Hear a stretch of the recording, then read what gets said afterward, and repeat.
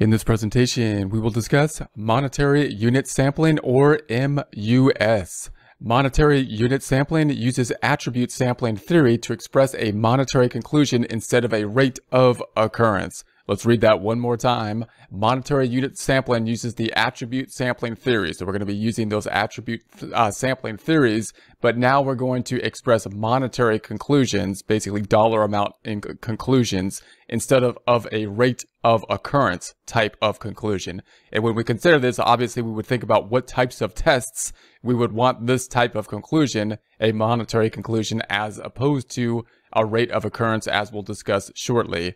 Monetary unit sampling often is often used by auditors to test accounts like accounts receivable, loans receivable, investment securities, and inventory. These accounts you can you can think of accounts that we might want to have then why would we use the MUS the monetary unit sampling because we want to have a conclusion that will have that monetary dollar amount type of conclusion.